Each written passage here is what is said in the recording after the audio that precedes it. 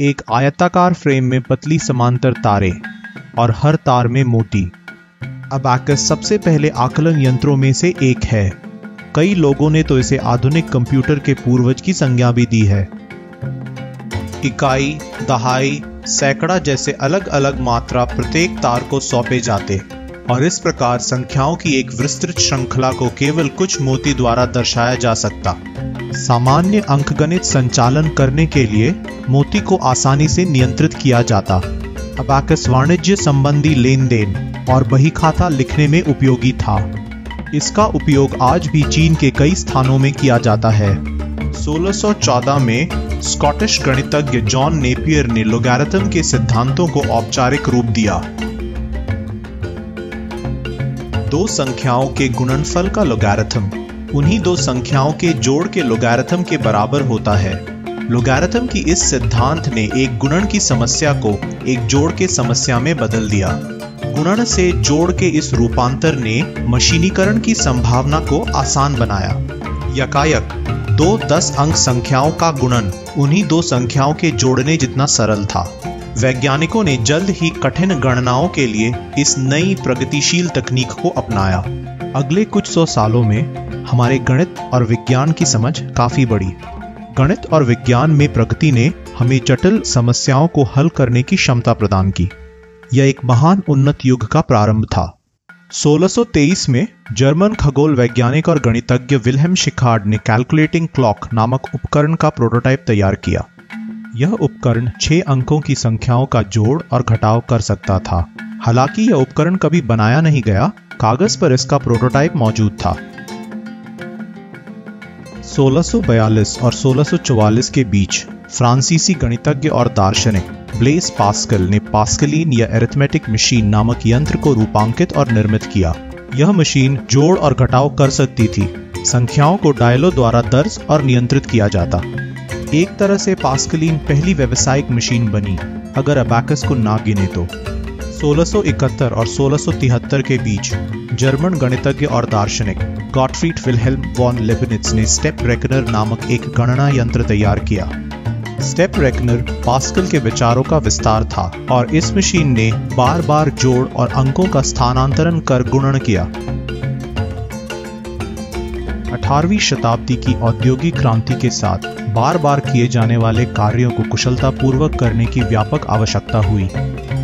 इस चुनौती को 1820 में फ्रांस के Charles Xavier Thomas de Colmar ने प्रभावी ढंग से पूरा किया, जब उन्होंने एरिथमोमीटर का निर्माण किया। यह पहला व्यवसायिक गणना यंत्र था, जिसका निर्माण ज़्यादा तादाद में हुआ। यह जोड़, घटाव और गुणन कर सकता था, लेकिन विभाजन के लिए उपभोक्ता के हस्तक्षेप की आवश्यकता थी। लिबनिट्स की तकनीक पर आधारित एरिथमोमीटर बेहद लोकप्रिय हुआ। आधुनिक कैलकुलेटर के क्रेडिट कार्ड के आकार से विपरीत यह काफ़ी बड़ा था, एक डेस्कटॉप जितना बड़ा। एरिथमोमीटर जैसे यंत्र 1820 के बाद भी लोकप्रिय बने रहे और संभावित व्यवसायिक उपयोग के लिए उनकी क्षमता को लोगों ने अच्छी तरह से समझा। 19वीं शताब्दी के दौरान निर्मित कई अन्य उपकरणों ने भी बार बार किए जाने वाले कार्यों को लगभग स्वचालित किया। लेकिन इनमें से किसी भी यंत्र का उपयोग कंप्यूटिंग में नहीं हुआ। इनमें एक बड़ा अपवाद था चकवाड लूम।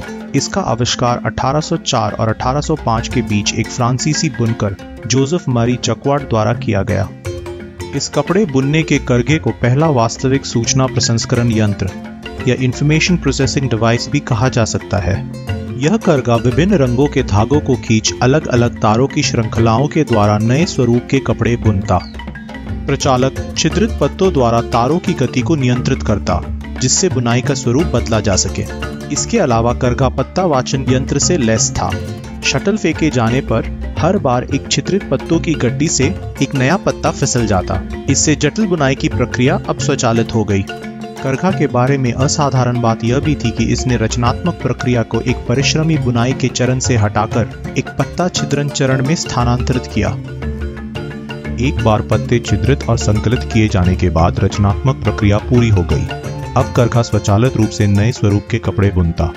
इस प्रकार जकवाड़ करघा कपड़ों के विभिन्न स्वरूप के लिए छिद्रित पत्तों की गड्डी द्वारा प्रोग्राम किया जाता। जिनका इरादा आकलन यंत्रीकरण था, उनके लिए जकवाड़ करगा महत्वपूर्ण सबक प्रदान करता है। नंबर एक एक मशीन के संचालन के क्रम को नियंत्रित किया जा सकता है, जिससे मशीन हर बार कुछ अलग करे। नंबर दो एक छिद्रित पत्ते के माध्यम से मशीन को निर्देशित किया जा सकता है।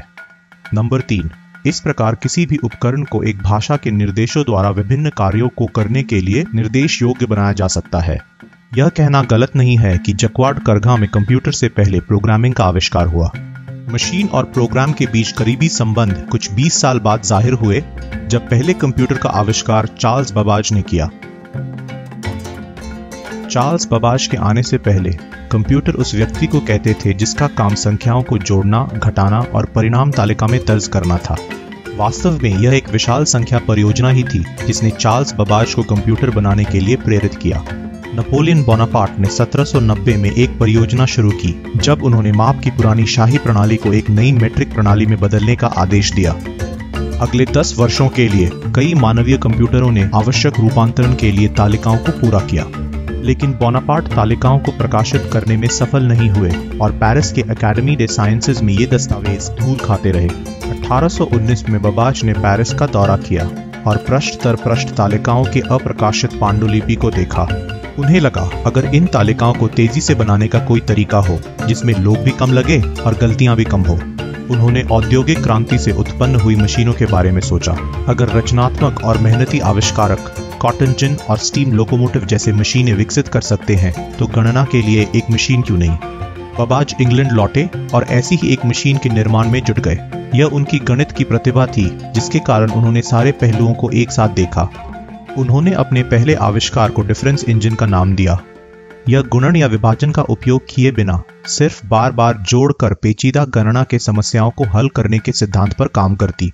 1824 में उन्हें सरकारी वित्तीय सहायता मिली। और अगले आठ वर्षों तक उन्होंने अपनी योजना पर काम किया। 1832 तक उन्होंने अपनी तालिका बनाने वाली मशीन का वर्किंग प्रोटोटाइप तैयार किया, लेकिन सरकारी वित्तीय सहायता से मिले पैसे खत्म हो चुके थे। मशीन का निर्माण अधूरा छोड़ने के विपरीत, उन्होंने अपनी योजना को और आगे बढ़ाया और एनालिटिकल इंजन नामक मशीन की संकल्पना रखी। यह मशीन जोड़ और घटाव के साथ साथ गुणन और विभाजन जैसे जटिल गणना भी कर सकती। एनालिटिकल इंजन के मूलभूत भाग कंप्यूटर के पुर्जों से काफ़ी मिलते हैं। इसमें किसी भी आधुनिक कंप्यूटर की दो विशेषताएँ, एक सेंट्रल प्रोसेसिंग यूनिट या सीपीयू और मेमोरी शामिल हैं। बबाज ने सीपीयू को मिल और मेमोरी को स्टोर का नाम दिया। एनालिटिकल इंजन को निर्देश देने के लिए रीडर नामक उपकरण उसके साथ जोड़ा गया। प्रिंटर नामक उपकरण मशीन द्वारा उत्पन्न परिणामों को कागज़ पर अंकित करता। एनालिटिकल इंजन एक प्रस्तावित मैकेनिकल जनरल पर्पस कंप्यूटर था। मशीन के सभी हिस्सों को हाथों द्वारा बनाया जाना था। हज़ारों भागों वाले मशीन के लिए यह एक बड़ी समस्या थी। बबाज अपने किसी भी मशीन का निर्माण पूरा करने में सफल नहीं हुए। उनके मुख्य इंजीनियर ने वेतन के अभाव और पर्याप्त वित्तीय सहायता के बिना काम करने से इनकार कर दिया। बबाज का नया आविष्कार पूरी तरह से सिर्फ़ कागज़ पर मौजूद था। उन्होंने अपने मशीन के बारे में विशाल काय नोट्स और स्केचेस रखे थे। उनकी मशीन अपने समय से एक शताब्दी आगे थी। उदाहरण के लिए, स्टोर में 50 अंकों वाले 1000 संख्याओं को रखने के लिए पर्याप्त जगह थी। यह 1960 से पहले निर्मित किसी भी कंप्यूटर की स्टोरेज क्षमता से काफ़ी ज़्यादा थी। अंग्रेज़ी सरकार ने चार्ल्स बबाज को और वित्तीय सहायता देने से इनकार किया। आखिरकार उनकी परियोजना बंद कर दी गई। चार्ल्स बबाज के एनालिटिकल इंजन के संकल्पना के एक शताब्दी बाद 1940 में पहला मैकेनिकल जनरल पर्पस कंप्यूटर वास्तविक रूप से बनाया गया। चार्ल्स बबाज को इसीलिए कई लोगों ने फादर ऑफ़ कंप्यूटर की संज्ञा दी है। इस चैनल को सब्सक्राइब करना ना भूलें। और आपको ये वीडियो कैसा लगा, कमेंट्स द्वारा ज़रूर बताएँ।